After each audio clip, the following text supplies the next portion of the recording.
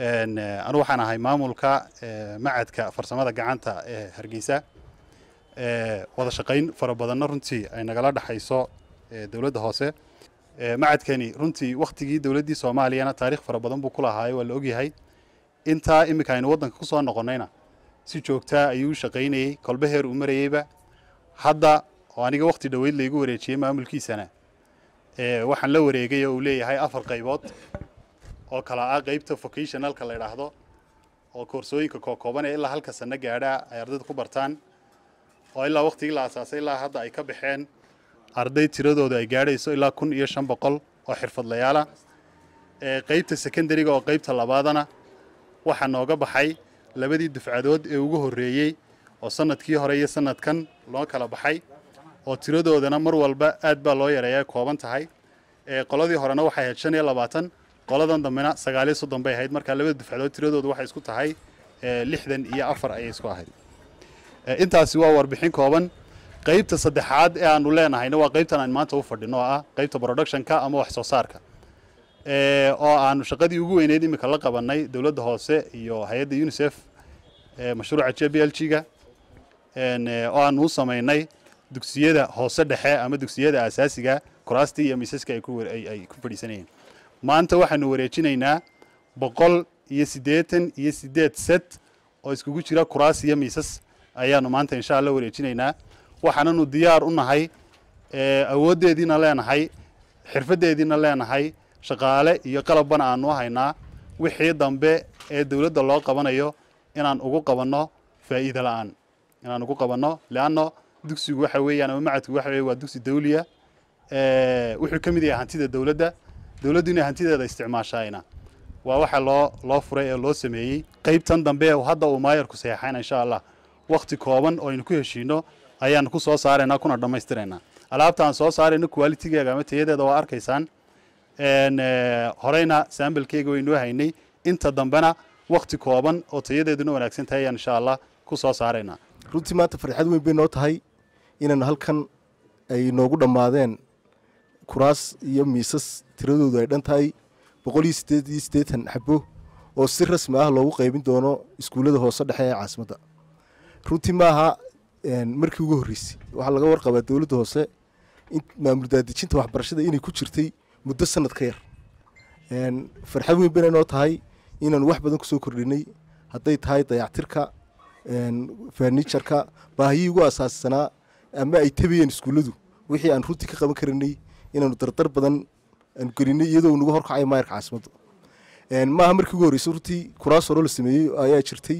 Waxaanu markii hore la macaamili jiray weegshabadan brifatka ah oo qiimahooguna runtii ka qaalisanaa qualitigooguna aanu runtii maajgaraynayn kawan maanta halkan ku hayno.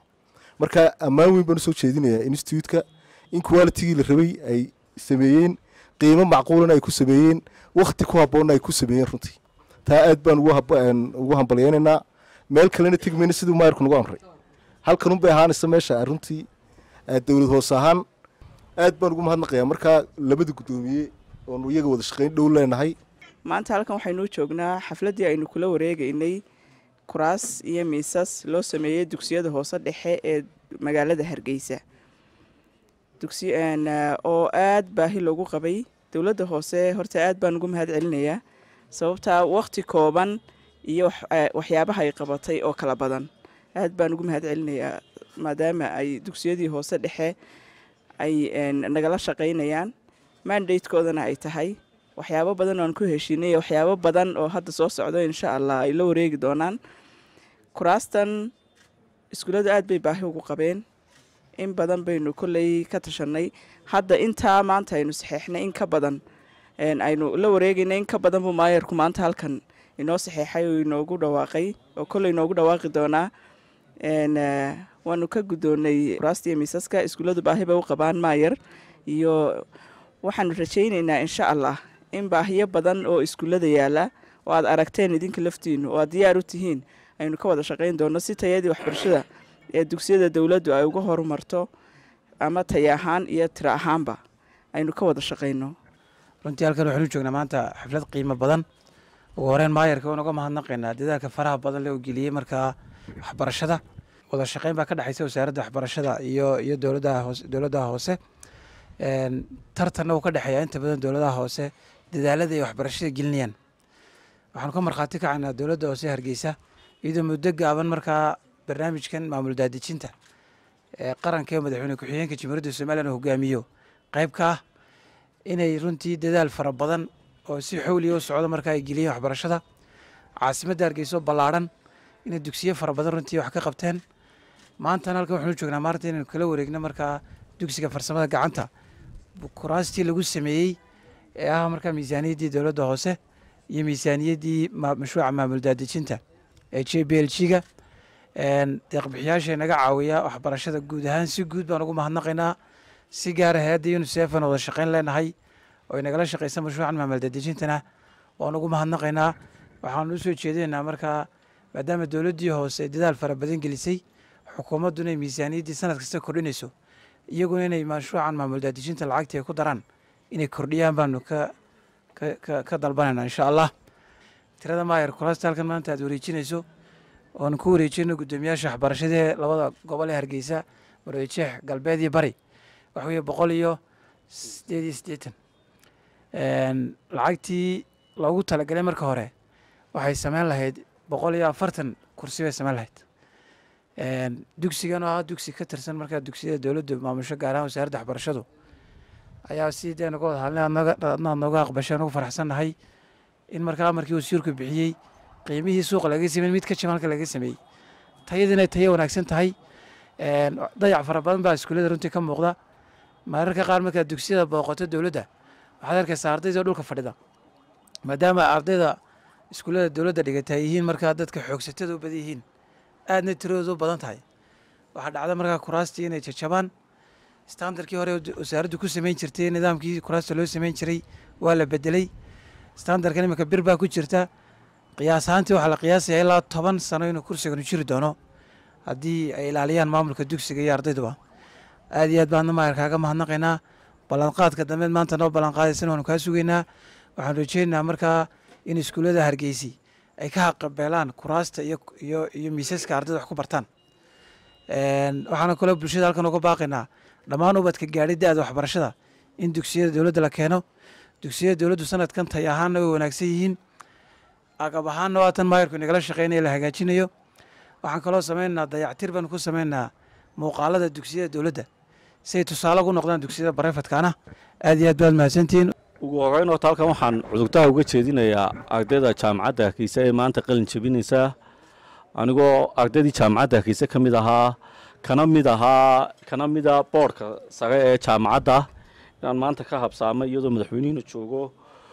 Waxaan leeyahay horta hambaliyo hambaliyo waxaanu idkaga habsaanayna waxa weeyaan ardaydii ka yaryarada ee iskuullada hoose oonu hawshooni wadno maadaama sana dugsiyeedkii iminka la galay si aan ugaga gaarsiin lahayn muxuu ahaa kuraastoodii iyo agabkii ay ku fadhiisan lahaayeen.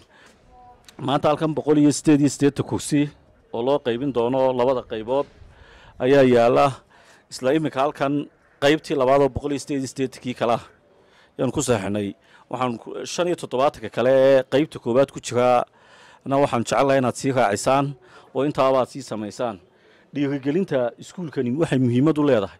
Ganacsiga waa la dhiirigeliyaa wax badan baa laga sameeya oo kale. Laakiinse ardadiina inay wax ku barato iskuulka. Waayo haddii ayna practical samayn marka la yidhaha farsamada gacanta. Waa inay gacantii ka shaqeeyaan. Waa inay wax soo saaraan. Iskuulkiina waa inay incentive u noqotaa in ay wax ku noqdaan inay inuu waxna soo saaro ardaydiisina siduu u taageero. Amarkii madaxweynuhu ku bixiyey in farsamada gacanta kor loo qaado hadday dugsiyada tahay. Dugsigiinana wax laga qabanayo. Dugsigii technical institutekii burco oo kaa ugu caansan somalilan oo insha allahu tacaala aanu dhowaan isagana dhismihiisii filayno.